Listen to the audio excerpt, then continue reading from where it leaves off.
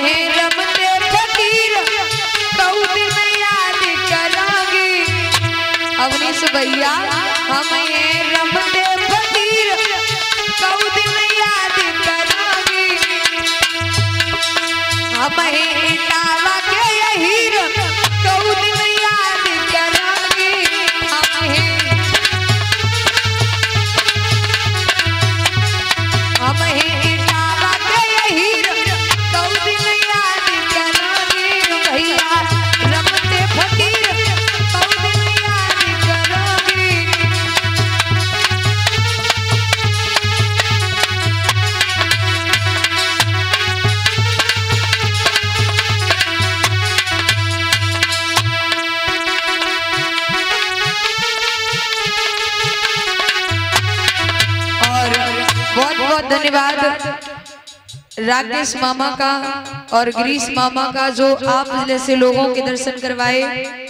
और सबसे बड़ा योगदान तो हमारी मौसी जी को है।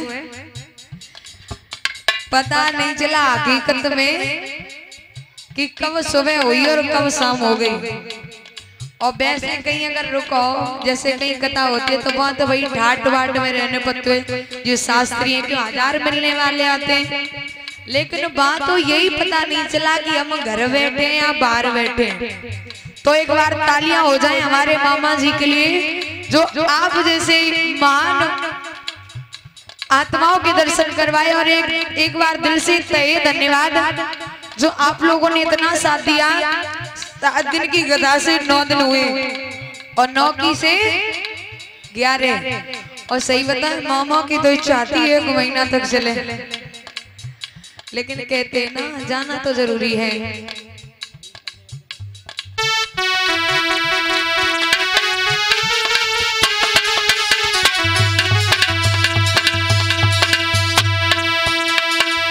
दिल में तो बहुत विचार आ रहे हैं, लेकिन कहते हैं, ना, जब किसी को विदा करो तो हंस के करो। समझो? तो दोनों हाथ ऊपर करके बेटा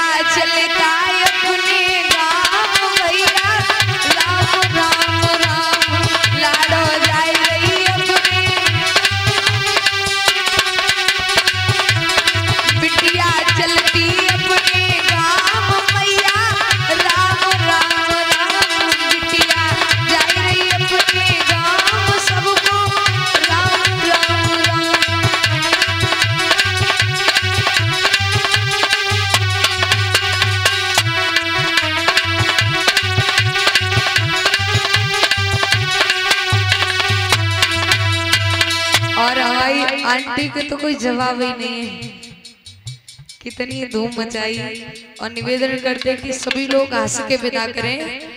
कोई मनहीन न हो और हमें आशीर्वाद दो कि दिन दूने रात।